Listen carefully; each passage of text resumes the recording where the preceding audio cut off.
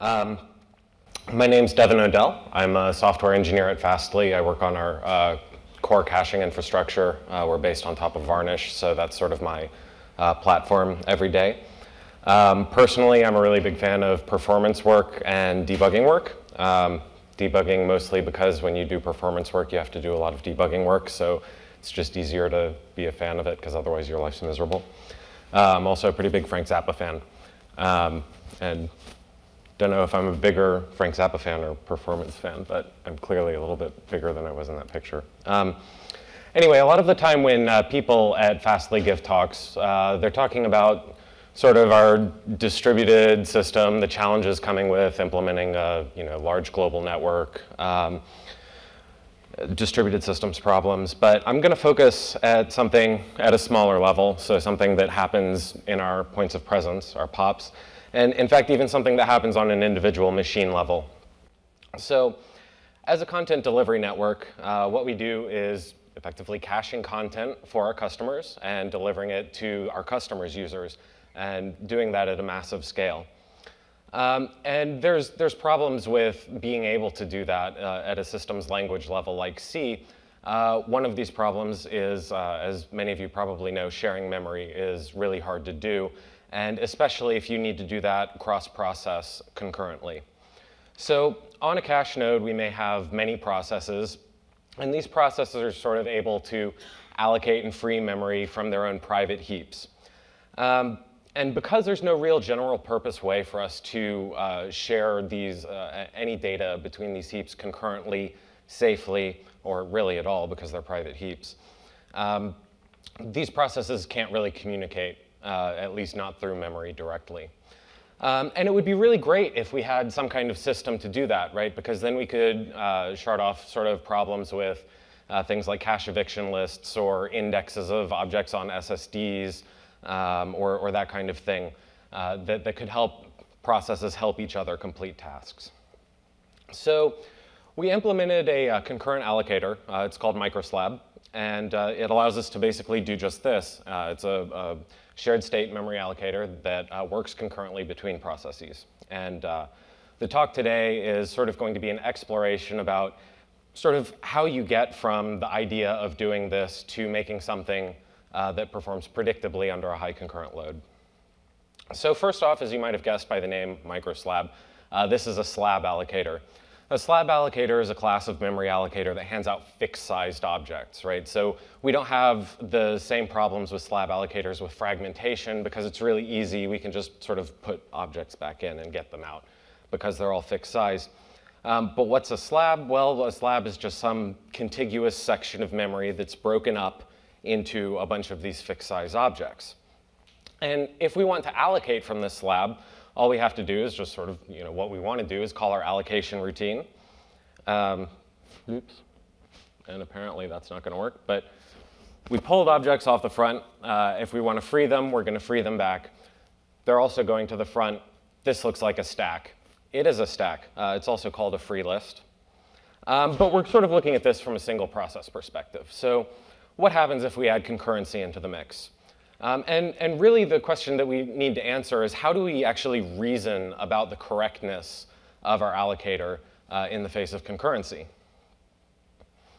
Well, something that's really useful to do is to sort of define a protocol. So even though we're not really like doing sort of defining message passing semantics or something, uh, we can think of our allocator as, as a sort of protocol where we have requests for objects that receive responses containing objects, we also have requests to free objects back onto the allocator. Um, and those free uh, requests uh, are responded to when the free completes.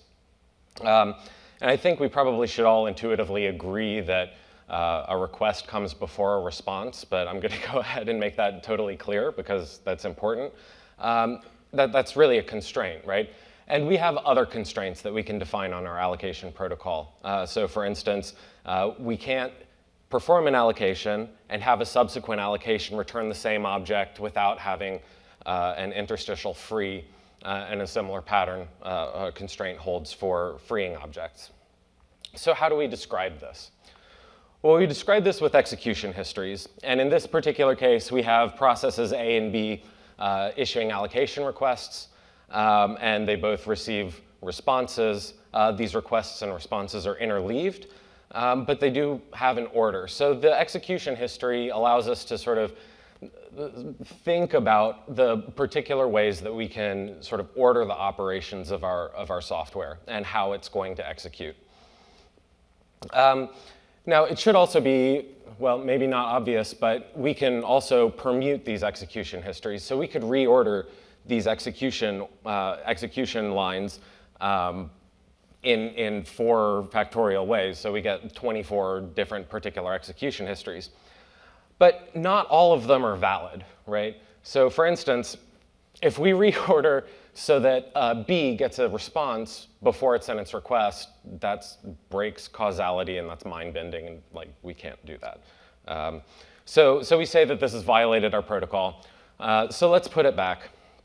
Um, so these constraints that we've declared on our protocol really help us better reason about the correctness of it. Um, and, and it seems like it, it's providing us a, a, way to sort of talk about a, uh, an execution history um, that, that can help us become convinced that our protocol is correct uh, or that an implementation of it is correct. Um, so what other constraints do we need to put on this particular execution history to sort of get some, some better feelings of correctness? Um, well, the first thing that we can do is we can constrain the type of history that we're talking about. So an execution history allows reordering of you know, arbitrary elements and arbitrary orders, uh, but we can, we can talk about sequential histories as well. And a sequential history is a history where any uh, request from uh, our protocol is succeeded immediately by a response. So this is an atomic, effectively, operation. Requests and responses then become atomic within these execution histories. Uh, and that seems to be like kind of a property that we were missing from our execution history. And if we want uh, concurrent access to our allocator, um, seems like atomicity is something that we need. So what does this look like? Well, here we have uh, requests and responses, uh, and, and they're atomic, which is maybe easier to see if they're grouped like this. Um, the previous execution history obviously was not a sequential history because uh, uh, the requests and responses were interleaved. Um, and what this means is that if we introduce sequential consistency into our allocator, uh, we, we now have a constraint where uh, no allocation can happen with, at the same time as another allocation. No free can happen at the same time as another allocation. So uh, we have this sort of ordering, it seems, of events. Um, but notice that while we can't interleave our requests and responses, that all of these operations have to complete uh, uh, atomically, we can still reorder them all with respect to themselves. Okay? And reordering request and response pairs can still yield a valid sequential history. Um, and so that I, am talking about reordering because what we're actually allowed to reorder uh, within a history is about to become really important. So just uh, keep, keep this reordering in mind. But um, first, let's kind of look at some code. Like, what, what, is, what does a stack effectively look like? What is our, our free list going to look like? Well, we're going to have an allocate and free interface. The allocation for a slab allocator is just going to read the head of the stack. It's going to read the next element off of the head, and it's going to put that next element as the new head of the stack. Simple. Freeing, uh, we have an object. We just read the stack head. That becomes this object's next element. We make the stack head the object that we're freeing. So what do we have to add to this to, to get sequential consistency? Well, we can just lock, right? We can just put locks around it and, and right, that's great. So lock-based synchronization is, is nearly like the canonical sort of uh, uh, solution to shared memory or sharing memory in, in multiprocessor and multi-process systems. Um, and they're easy to reason about, right? Because they serialize access to the critical sections, right? The part in between the lock and the unlock. And uh, this serialization creates a sequential behavior. Um, so that's cool. Let's, let's take a look actually at how a lock itself is implemented, right? Because it, it, it's useful to understand the guarantees that the lock makes and how it makes them to really understand why the lock protects our structure. And the kind of lock that we're going to be talking about, uh, just basically for simplicity purposes, is a spin lock. And in particular, we're going to talk about a test and set spin lock. Um, so the way that this lock works is that it snapshots the state of the, of the mutex, of the lock resource. Um, it sets the state to locked, and then it says, what was the state of the snapshot when I read it? If the state was locked, we didn't acquire the lock because it was already locked, right? So we just spin, and we keep doing that as long as we have uh, seen that we didn't change the state from unlocked to locked. If the previous state was unlocked, we have acquired the lock, right? So in that case, we just exit. Now, in the case of unlocking, that's pretty simple. All we have to do is set the state to unlocked, we're good. So this is how an implementation might look like in the C language. Um, this code is actually sort of simplified uh, from concurrent, the Concurrency Kit library, which provides a number of uh, really great interfaces to concurrent uh, data structures, spin locks, and uh, uh, other things. Um, and this looks correct, right? Like this, this basically looks like the sort of flow chart that we just looked at. But how can we reason or define the correctness of this implementation formally? Well, because an atomic operation, by definition, is individual, uh, indivisible, um, any atomic operations to our mutex, to this m variable right here, are sequentially consistent among themselves. Um, so there's a couple things to notice about this. One is this sort of test and set operation is actually embedded in a larger sequence of histories, which is actually entering the lock function and exiting the lock function. Um, or, or trying to acquire the lock and acquiring the lock.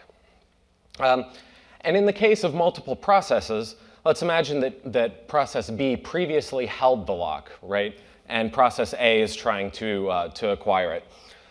Well, we, we have a stronger constraint, actually, than just sequential history that we have to apply to this, because uh, sequential histories would allow us to reorder these operations, these, these atomic uh, lock release or the store request response in, in process B, and the atomic lock acquire uh, in process A.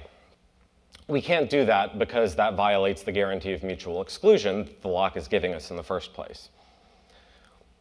So if we've concluded that out of the set of all execution histories, we have some subset of sequentially consistent execution histories, it looks like we're even moving towards a stricter subset of those uh, that satisfies some other desirable property.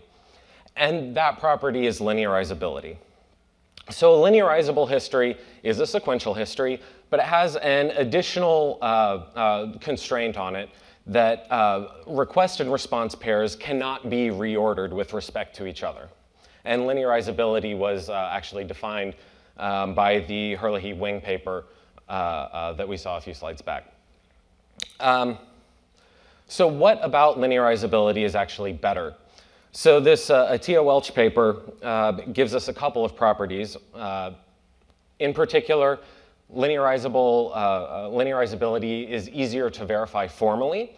Um, and this is because linearizability uh, has, has two other properties. Number one, it applies to individual objects. So this is different from serializability in database systems where sort of the, the entire set of multiple operations on multiple objects uh, uh is, is, uh, gets this sort of serial treatment. Whereas with linearizability, individual operations on single objects get this sort of serial treatment. Um, this property uh, of, of applying operations to individual objects also makes uh, linearizable uh, algorithms or, or linearizable uh, data structures composable. So if I want to apply a linearizable operation to some object, all of those uh, uh, operations applied to the objects linearize as well. So given that sort of definition, we might think that there's only one particular execution history here that's valid, which is maybe the one presented. But uh, notice actually that we can sort of still reorder the entry and exit of these functions without breaking our protocol. And uh, in fact, we can even reorder it a little bit more, right? So as long as the unlock happens before the lock, this is linearizable. Um, now, it seems that there's something special about these, uh, these atomic instructions. Uh, why, why do they provide this linearizable uh, this linearizable uh, guarantee? Well, in a, a, paper that predates me from uh, Leslie Lamport, uh, he's talking about enqueuing and dequeuing elements from a concurrent list or concurrent queue. Um, and what he's telling us is it's actually sufficient for there to be an atomic moment in, in lock and unlock operations where sort of this transaction uh, appears to complete. And, and this is uh, uh, the paper that's sort of credited for coining the, uh, the term uh, linearizable, by the way. Um, but this atomic moment in our functions uh, is also called a linearization point. And prior to this paper, there was sort of an insistence that sort of the entire function had to be atomic. So this, this gives us a new way of, of thinking about uh, linearizability and how we can apply it to objects.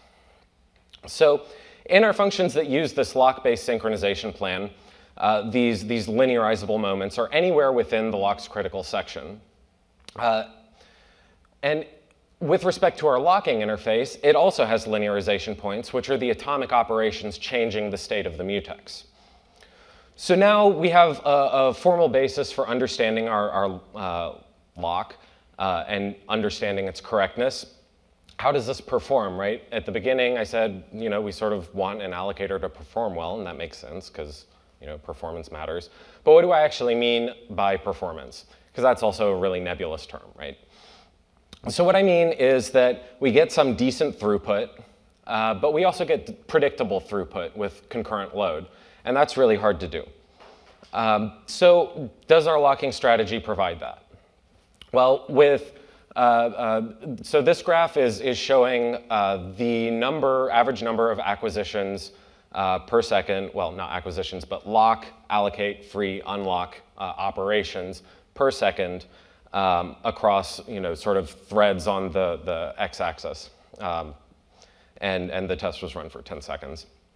So Although with no contention, we sort of complete in something like 18 nanoseconds as soon as we add uh, one thread contending.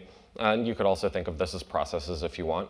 Uh, our throughput immediately drops by an order of magnitude, like a factor of 20, 25, something like that.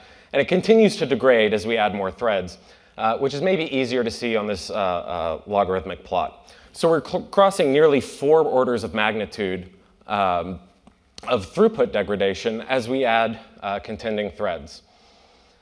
Um, and this is going to actually put a limit on how our allocator will behave because these operations wrap sort of the, the stack mutation. Um, so recall that this test and set algorithm, uh, the way that it works is it reads the state and then it writes a state and then it tests a state effectively.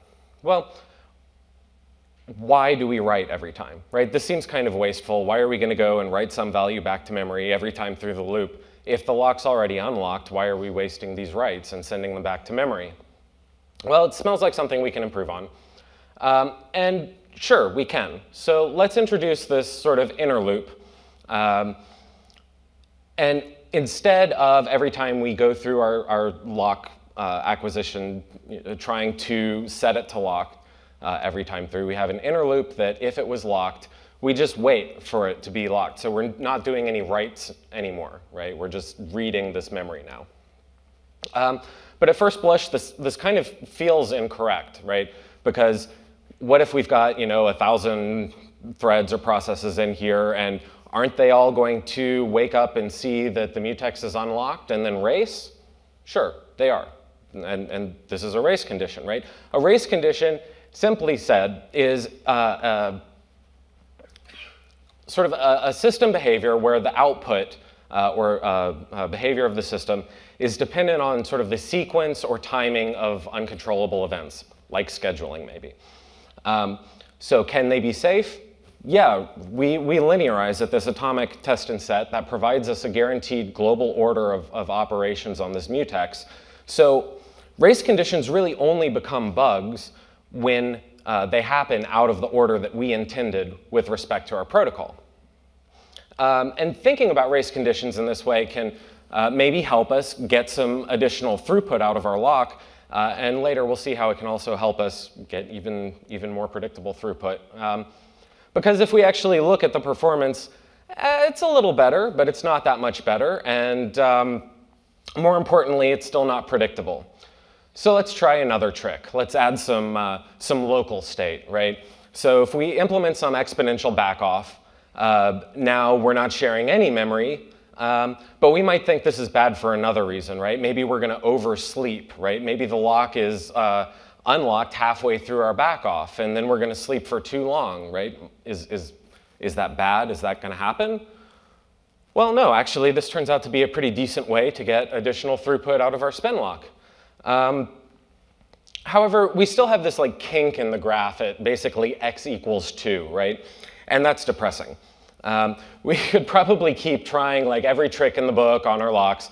Um, but really what it looks like is we're just changing a coefficient in exponential decay, right? Um, and in order to understand why, uh, let's, we're, we're going to talk about something called a progress guarantee. So let's say we've got two processes and uh, some spin lock that's uh, available to both. Um, so we have the first process that enters the function, it switches the state to locked, and then it exits the function. So now it's within its critical section somewhere, maybe. Um, so now our, our next thread or next process comes in. It tries to grab the lock, but it can't, so it's spinning. Um, and it's not making progress. Uh, so there is actually no progress guarantee being made in this system because the first process is not under any obligation ever to release the lock. There's nothing about a locking protocol that defines when an unlock must happen. Um, so uh, furthermore, our second process uh, has no choice but to wait until the unlock happens before it can make progress. So in our total system, we have no progress being made.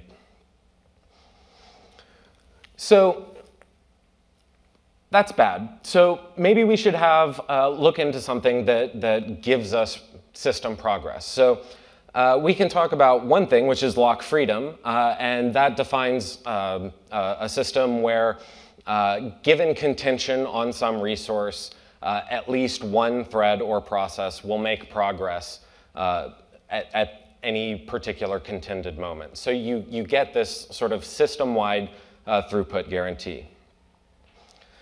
Um, so maybe, maybe we want to use that solution and maybe we want to embed that into our, our data structure instead of just you know, simply using locks around these sort of sections that clearly need protection to prevent uh, you know, concurrent access to this uh, from, from becoming a, a race condition that does happen out of order. So this is where non-blocking algorithms come in.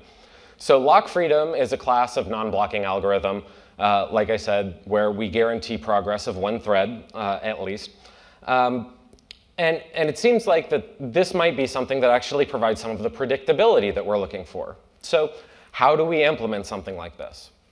Well, we're not tied to test and set. Processors and, and most modern processors, uh, in fact, all commodity processors for machines that I'm aware of that people are using in data centers and most mobile devices uh, all support uh, compare and swap, as well as a number of other uh, atomic read, modify, write operations.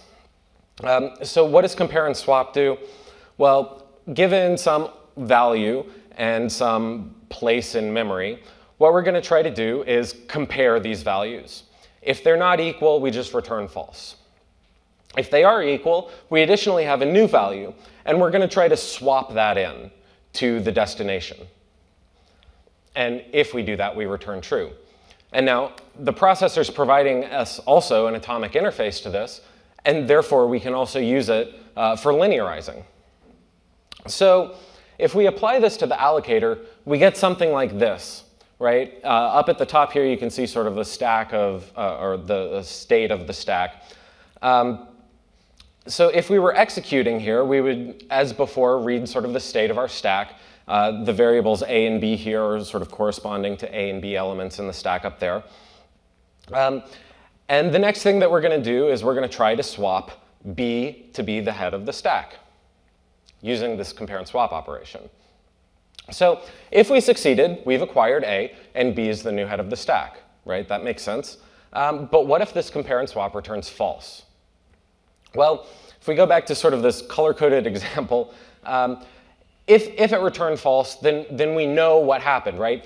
Either, uh, well, period, the head was changed, right? Somewhere in, in between our read of the head and our attempt to compare and swap.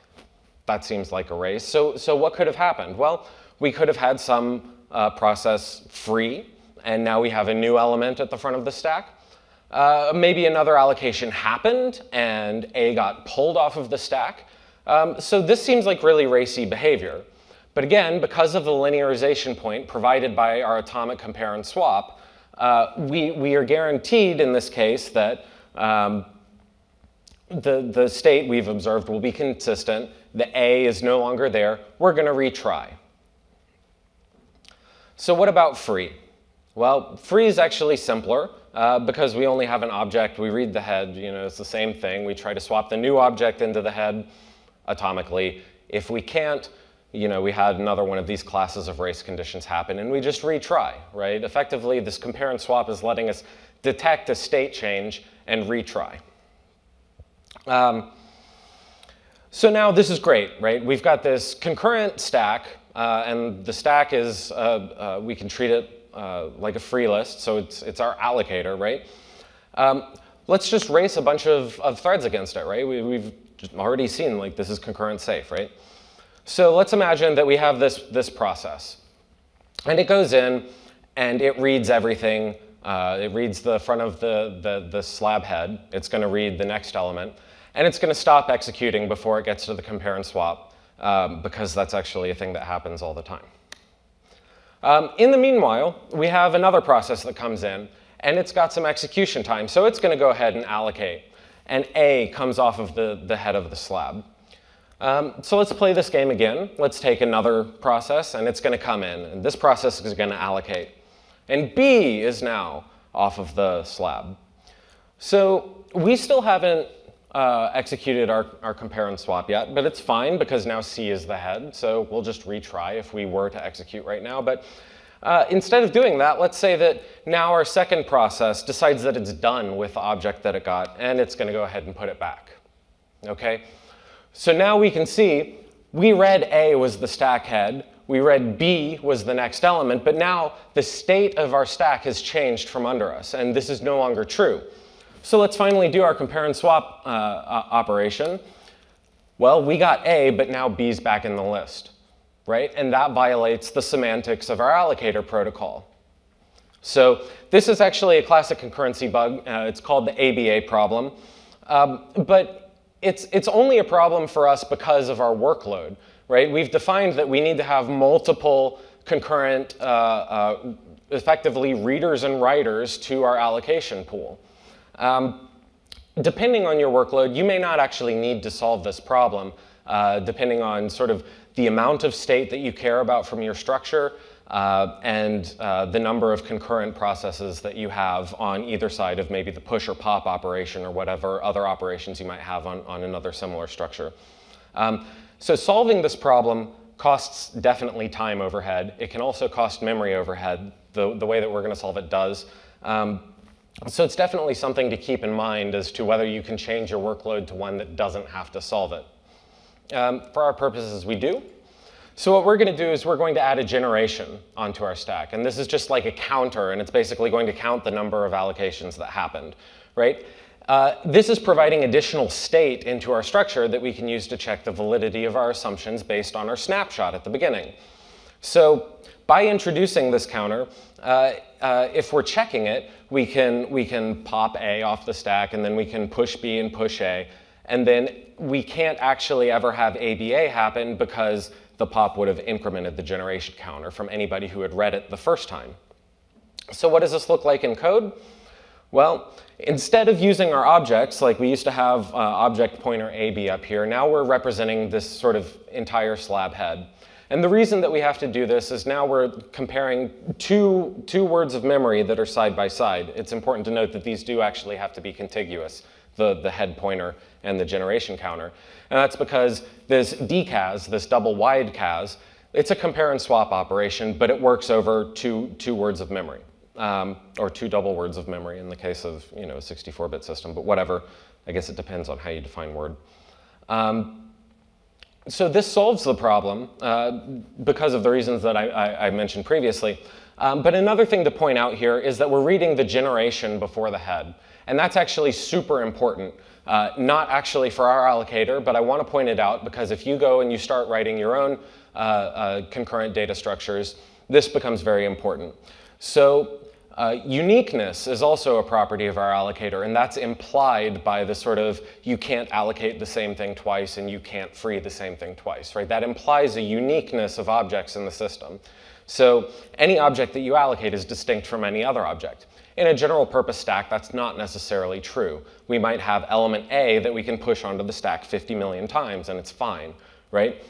If we do have that case, we could have a case where a concurrent reader from the stack or somebody trying to pop reads A as the stack head, somebody else pushes another A onto the stack, and then we read the generation counter, right? So now we see A at the front and we have the latest generation counter. So we're going to mutate our stack uh, again, uh, and it's going to be the wrong state.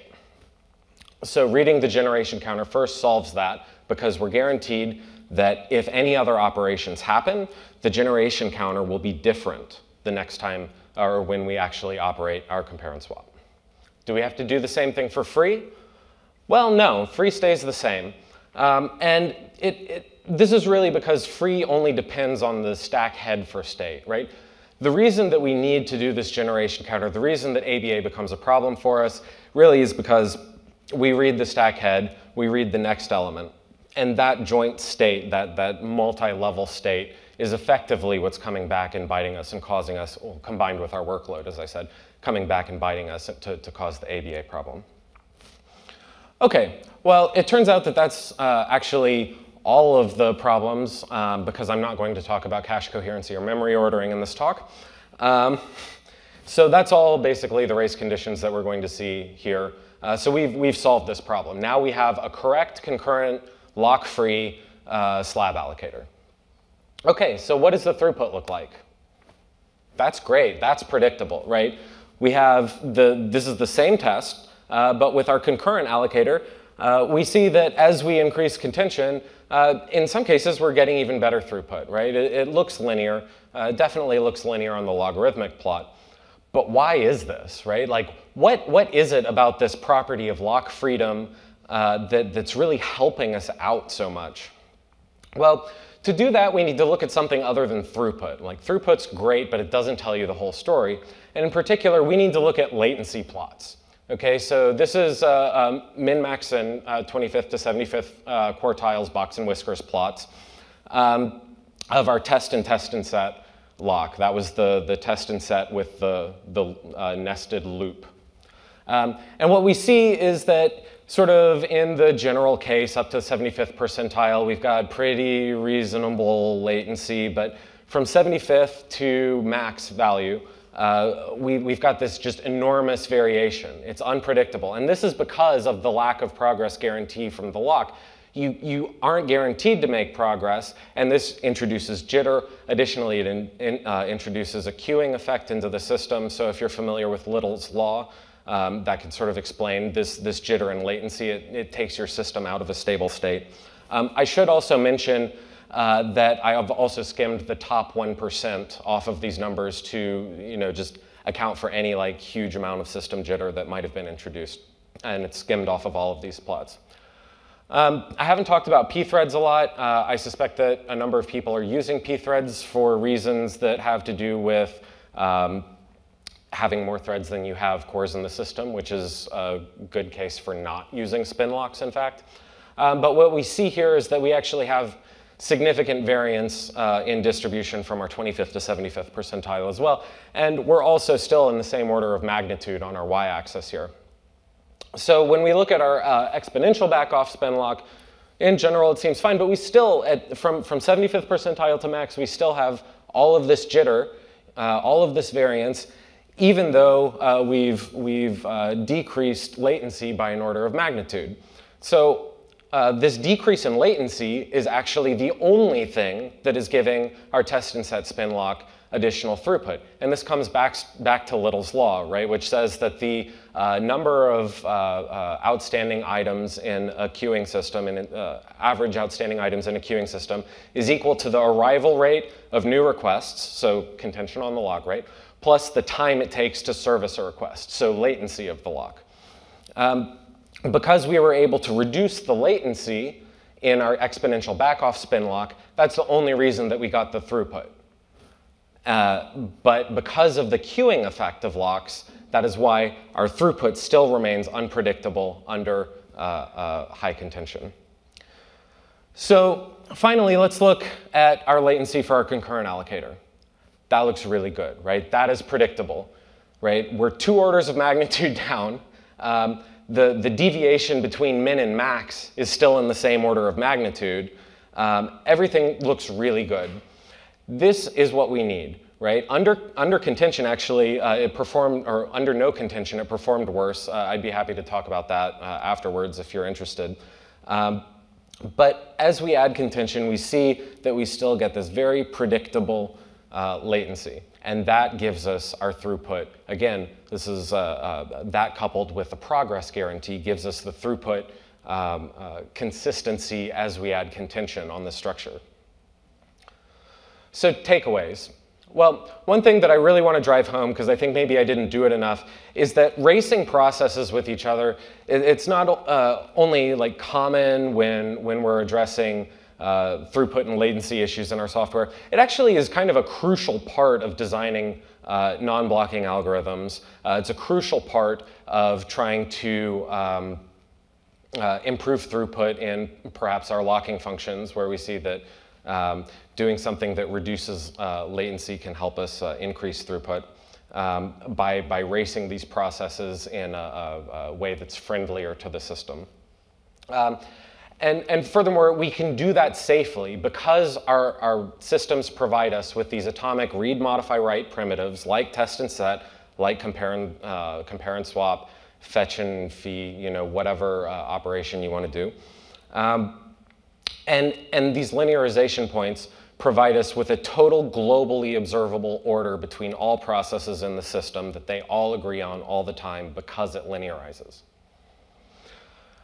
Good, so that's, uh, that's, we're wrapping it up. Um, I definitely did not cover all of the things about a slab allocator or performance things that you want to keep in mind, uh, in particular per thread slabs, what to do when your slab uh, is out of memory, stealing from elsewhere, that kind of stuff. If you're interested in this code or using this in your systems, um, definitely check, uh, check out uslab.io um, which right now is just redirecting to our, our GitHub page. We've uh, open sourced this and um, it's under the Apache 2 license. Um, also, before I wrap up, I want to th uh, thank my colleague Nathan Taylor. Um, so he actually presented this talk at Surge yesterday, um, but the conferences were happening concurrently, so I couldn't be at both. Uh, I also really can't overstate how much he helped uh, both with uh, content and you know, teasing out bugs and some of the testing stuff uh, and you know, giving these slides a consistent total order. Um, so that's all I've got for you. Thank you for coming. Um, if you've got questions, I think there's only two minutes left, so uh, I'm going to head out to the Fastly booth that's just down the hall. Uh, so feel free to come see me and, and ask questions there. Um, and thank you for coming.